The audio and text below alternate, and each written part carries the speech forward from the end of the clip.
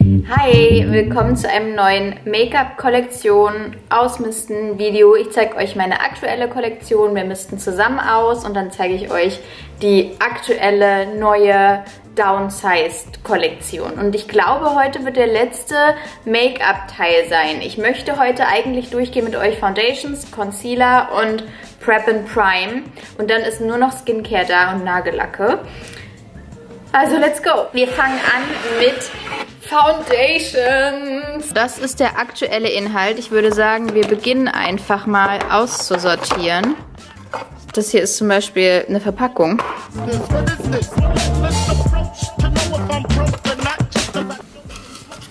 Ganz traurig.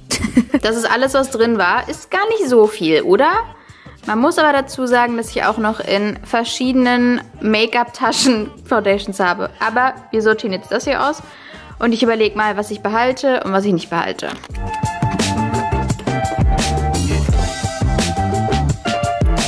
Ich habe jetzt einen Stapel mit, ich bin mir nicht sicher, gerade bei Foundations, wo ich nicht weiß, ob es die noch gibt und die ich auch schon länger habe, wo ich nicht weiß, wie ist die Konsistenz. Aber die Konsistenz sieht eigentlich noch ganz gut aus. Das ist die Silk Cream Foundation. Ich weiß gar nicht, ob es die noch gibt. Das ist die Farbe Medium Ivory. Sie riecht noch gut und sie fühlt sich auch noch gut an. Also die werde ich nochmal ausprobieren. Dann habe ich hier die Estee Lauder Double Wear Light. Irgendwie, weiß ich nicht, habe ich mich darauf voll gefreut, wollte die unbedingt ausprobieren und letztendlich trage ich sie irgendwie nie. Die ist auch, wie ich sehe, gerade ziemlich, geht es sehen? Die ist ziemlich orange. Dann haben wir hier einmal Velvet Finish Foundation von Catrice. Und die, der bin ich richtig lange hinterher gerannt. Ich weiß gar nicht, ob mir das von der Farbe überhaupt noch passt. Die ist schon sehr hell. Aber schön gelb auf jeden Fall. Boah, krass, wie die deckt. Wenn es die nicht mehr gibt, dann werde ich die, glaube ich, auch weggeben weil es sich für mich einfach nicht lohnt, euch dann Sachen zu zeigen, die ihr nicht mehr bekommen könnt. Ich habe gerade nachgeguckt, natürlich gibt es die Catrice Foundation nicht mehr im Sortiment. Ziemlich blöd, weil die war echt gut, aber dann gebe ich die weg. Wir fangen an mit etwas, was nicht ganz so erfolgreich vielleicht aussieht. Das ist das, was ich behalte und das äh, gebe ich weg, verkaufe ich, schmeiße ich weg. Sowieso diese Verpackung. Ich frage mich, wo ist die Cushion Foundation von Lancome, weil hier ist nur die Verpackung. Anyway, die Foundation hier fand ich echt gut, äh, es aber nicht mehr. Die habe ich früher, als ich gedacht habe, ich habe schlechtere Haut, pff, äh, mal gekauft, Opal und Nude, aber ich habe die immer gemischt, aber die Farben haben mir nie richtig gepasst und da ist noch fast alles drin. Dann ein absoluter Favorit von mir, äh, die CC Cream von Max Factor gibt es schon lange nicht mehr. Aber wenn es sie noch geben würde, würde ich sie euch immer noch sehr ans Herz legen. Aber die ist jetzt schon nicht mehr gut. Und dann haben wir hier zwei Kandidaten. Ah, das ist echt schwierig, aber ich weiß gar nicht, wie ich hiervon die Hälfte alle machen konnte und ich weiß auch nicht, was ich mit dem Rest machen soll.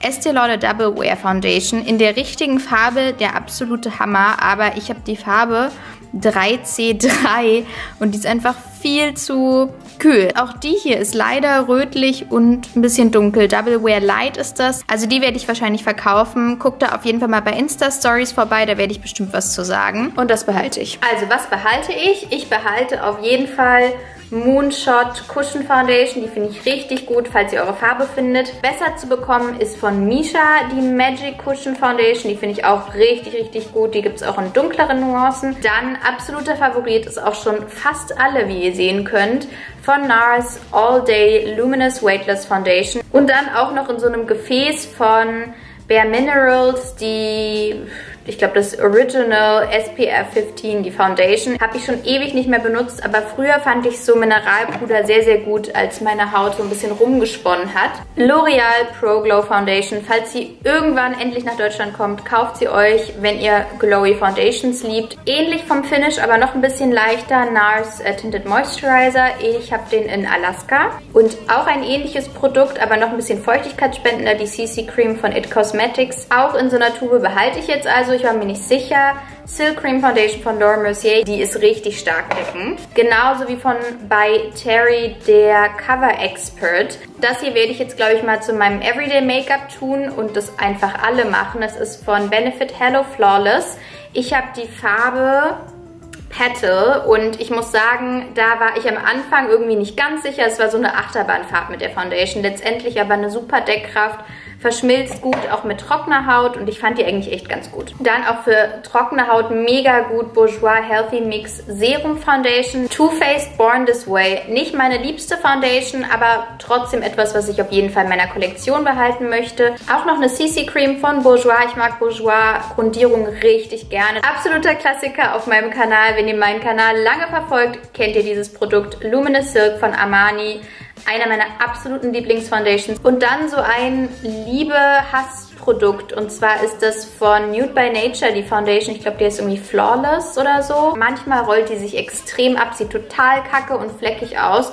Aber wenn ihr die richtigen Sachen benutzt und eure Haut die den richtigen Zustand hat, ist es ein Traum und eben naturnah. Und die letzte meiner Lieblingsfoundations ist Rival de Loop tatsächlich. Äh, Natural, wie heißt die? Natural Lift Make-up. Und die ist richtig toll, gerade auch bei trockener Haut.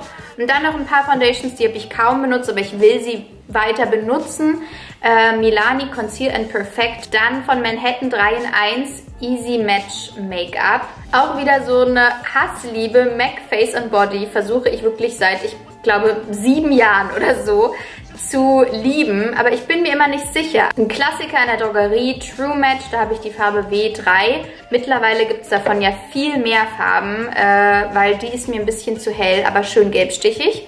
Und die letzte ist auch äh, eine sehr leichte, natürliche Foundation, ist die Fresh Nude Foundation von The Body Shop. Und so sieht das Ganze jetzt äh, nachher aus. Ich finde, das sieht sehr, sehr gut aus. Ich habe auf jeden Fall noch super viel Platz für andere Foundations und äh, das sollte passen. Kommen wir zu Concealer-Produkten. Das hier ist das Vorher. Könnt ihr das glauben?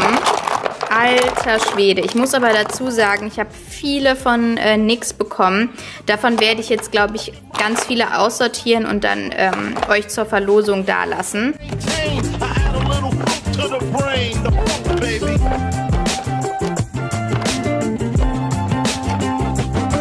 Wie ihr sehen könnt, ich war ziemlich rigoros. Behalten, ich weiß es immer noch nicht.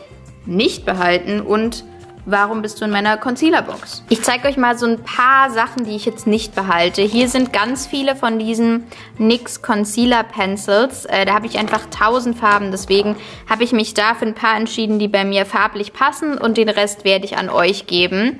Dann habe ich hier äh, einfach so ein paar Produkte, mit denen ich nicht ganz so klar kam. Ich weiß aber, dass zum Beispiel den hier viele lieben. 2 in 1 Concealer von Manhattan. Healthy Mix Concealer von Bourjois die Erase Paste von Benefit. Äh, den habe ich ganz neu, aber es ist einfach nicht meins. Den werde ich jetzt äh, verkaufen. Born This Way Concealer von äh, Too Faced, die Farbe Medium. Genauso wie der Sephora Bright Future Gel Serum Concealer, den Luster Lux absolut liebt. Das ist die Farbe Custard. Ist, glaube ich, auch so eine, die sehr, sehr vielen passt. Mm, dann hier von Marc Jacobs. Äh, ähm, Up All Night Remedy Concealer Pen.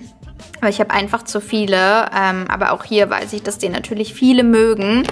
Und das genauso wie von Laura Mercier, diesen Candle Glow Concealer and Highlighter. Den habe ich in der Farbe 1. Lasst euch aber nicht getäuscht sein, es ist trotzdem eher so eine Light to Medium Farbe. Nicht super, super hell. Ja, und ansonsten so Maybelline Fit Me Concealer. Ich weiß nicht, ob sie da die Formulierung geändert haben. Der, keine Ahnung, deckt für mich irgendwie nicht mehr richtig.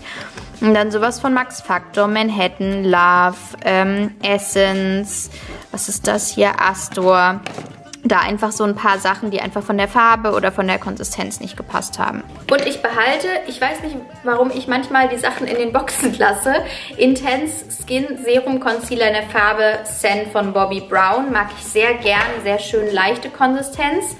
Im Gegensatz zu Nude by Nature Concealer, Flawless Concealer in Natural Beige. Das ist so ein Stick und die sind im Gegensatz zu den äh, Foundations richtig, richtig gut. Dann diese Concealer Pencils, von denen ich eben gerade gesprochen habe. Da behalte ich Medium Olive Und zum Konturieren und Bronzen äh, Deep Golden und Cappuccino. Die sahen richtig schön geswatcht aus. Dann aus Korea ganz neu Kill Cover äh, Concealer von Clio. Eine kleine Reisegröße von dem NARS, ähm, wie hieß der nochmal?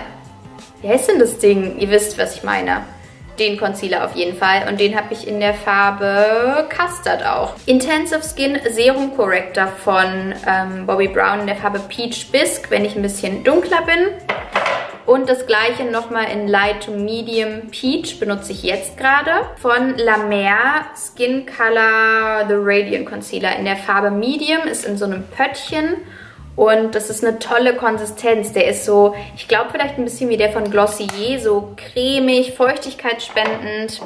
NYX HD Concealer. Sehr gut deckend ist der hier von By Terry, der Hybrid Foundation Concealer. Der Instant Full Cover Concealer von Bobbi Brown. Mein geliebter Shape Tape Concealer. Ja, er ist wirklich so gut wie alle sagen. MAC Mineralized Concealer. Mein geliebter Garnier Roll-On, den ich immer als Corrector benutze. Guckt euch das mal an, wenn das kein Erfolg ist, von komplett voll zu ich kann alles genau sehen.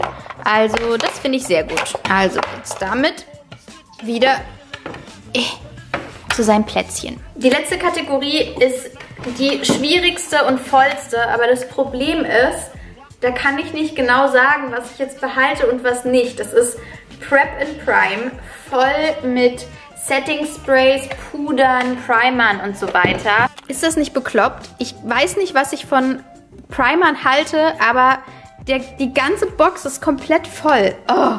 Also hier, das Produkt passt nicht mal richtig rein. Das habe ich in äh, Korea gekauft. Äh, J1 Jelly Pack. Dann, das finde ich wirklich gut. RCMA äh, No Color Powder oder so. Ja, No Color Powder, wo immer noch super viel drin ist. Kann ich sehr empfehlen für den Preis. Soft Matte Loose Powder fand ich, glaube ich, eigentlich ganz gut, aber ich mache halt nie Puder alle. Radiance Primer von Laura Mercier. Fix Plus, das finde ich super. Ja, das kann ich eigentlich mal wegpacken. Das war eigentlich echt scheiße. Von nix. Könnt ihr euch erinnern, da hatte ich absoluten Flashback. Das kommt auf jeden Fall weg. Aber sonst, keine Ahnung. Okay, das kann vielleicht auch weg. Aber sonst keine Ahnung. Ich benutze das alles ab und zu. Schrecklich. Das soll auch gut sein. I don't know. Das fällt mir gerade schwer. Manu, das fiel mir jetzt echt schwer. Und guck mal, das behalte ich. Es sieht aus, als würde ich alles behalten, oder? aber das hier kommt weg. Anstatt dass ich euch jetzt aber erzähle, was ich alles behalte, zeige ich euch nur kurz, was ich nicht behalte. Einmal von, ähm, was ist das, L'Oreal.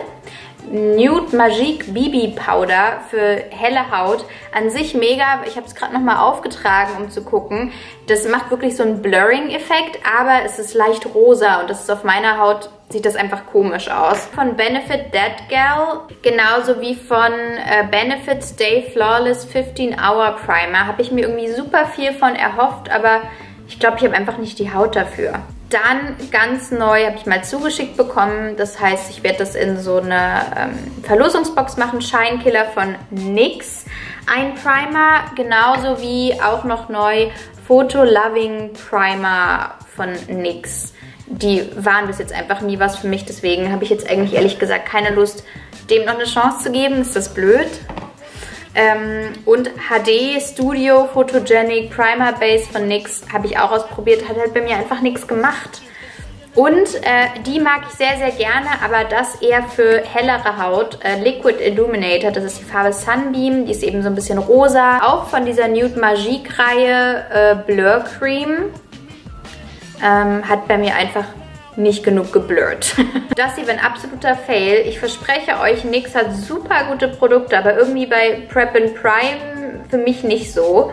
Das ist das HD Studio Finishing Powder und egal wie ich das auftrage, ob dick, dünn, mit Pinsel, Beauty Blender, bliblablub, das gibt einen extrem Flashback und ihr seht einfach extrem weiß aus. Und das nicht nur, wenn ihr mit Blitz Fotos macht, was ziemlich grausam ist. Und das war's zu meinen Make-up-Produkten.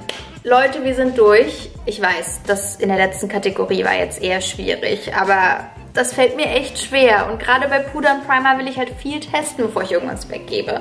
Aber das war's zu meiner Make-up-Kollektion. Jetzt haben wir hier noch ziemlich viele Fächer. Das ist aber alles Skincare, Eins habe ich mit Parfum, eins mit Reisegrößen, eins mit Nagellack. Schreibt mir unbedingt in die Kommentare, ob ihr für Skincare auch ein Make-up-Kollektion, oder nicht Make-up-Kollektion, sondern Skincare-Kollektionsvideo haben wollt und dass wir da ein bisschen ausmisten.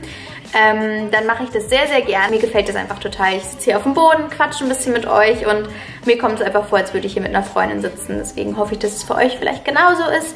Und wie gesagt, schreibt mir sehr, sehr gerne, ob ihr das in der Skincare-Edition haben wollt. Und ähm, dann sehen wir uns beim nächsten Mal. Bis dann. Ciao.